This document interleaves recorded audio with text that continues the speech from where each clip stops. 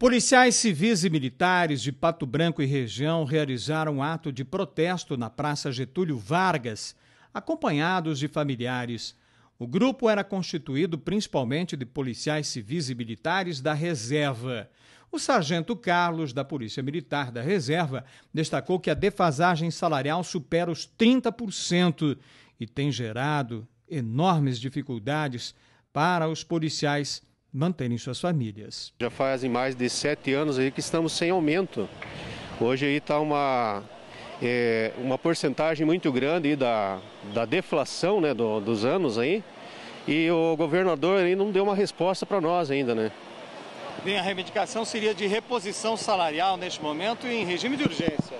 Correto, em regime de urgência, né? Os policiais estão sendo descontados em uma contribuição dos inativos aí, em torno de 500 até 800 reais por mês, sendo que o policial ficou 25 anos e contribuindo né, para a própria Previdência. Né?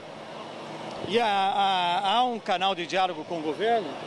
É, a dificuldade é grande lá. Ele não, não dá oportunidade dos, do pessoal aí da, da reserva, né, dos pensionistas, não, não cumpriu o que prometeu na, na campanha política, né? E é o que nós estamos reivindicando aí.